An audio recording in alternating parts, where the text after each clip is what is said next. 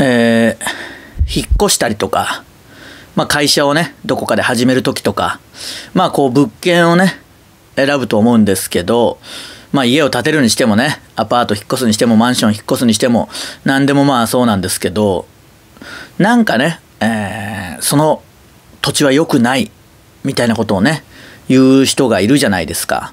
まあ何をね、信じようが、えー、どういうことをね、こう頼りにしようが、それは自由なんですけど、やたらと押し付けてくる人いるでしょ？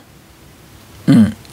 まあそれ個人のことだから人に押し付けないでほしいっていうのが、まあ大前提あるとして、まあそれはそれでもういいんですよ。よかないけど、まあいいとして、なんかね、ここに引っ越そうと思ってるとか、えー、ここで、ね、マンション買おうとかね、家を建てようと思ってるみたいな話になった時に、まあそこはやめといた方がいいと。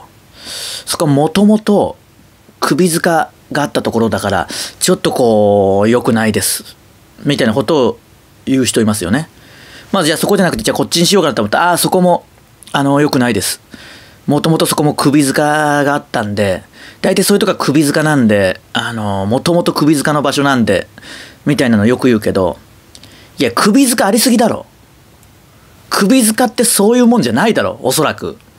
え、どういうこと？都内ってもうほぼ首塚だったの違うよね。仮にじゃあ首塚があった場所があるとしても、そ、そんな広いか？首塚が。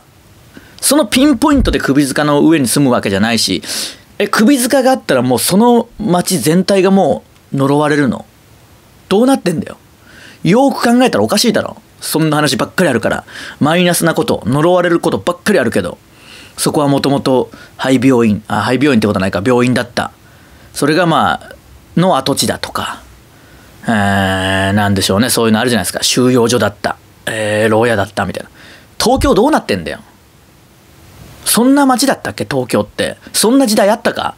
首塚と病院と墓場と収容所だけの時代あったか？ほぼ、ちょっとだろ、そんなの。あるとしても。逆に聞くけど、フラットなとこ、じゃあどこなんだよ。全部の土地それじゃん。そういう人に言わせたら。全部そういうのじゃん。まあ、たまにここはいいですみたいなのもあるけど、フラットなとこどこなんだよ。何時代に何があったんだよ。明確に出してくれ。どうなってんだよ。ほとんど塚、首塚とかですからね。そういうもんじゃないはず。でね、まあ、僕、何が言いたいかというと、一番言いたいのは、まあそういうね、場所、こう、運気がいい場所に引っ越して成功したという方も、あのいると思います。で、そういう人はこういう場所に引っ越したからこう成功したんだとか、えー、そういう話をね、されてる方もいます。まあそれは本当に素晴らしいことなんですが、その人たちに言うけど、自分をもっと褒めてあげな。自分の努力は、まあ本当にいい場所だったかもしんないけど、あなたは頑張りましたよ。自分の頑張りをなしにするのはあまりにもったいない。そうは思いませんか？うん。いや、仮に場所がいいけど、そこでシャニムになって働いたのはあなた自身ですよ。一生懸命頑張ったのに。それを全部なかったことにして、自分を褒めることなく、その土地のおかげだっていうのはちょっともったいない。そして、もう一つ大事なこと。じゃあその成功するにあたって、支えてくれた人はいませんか？その感謝が先じゃないかな。いくらいい場所か、わかんないけど。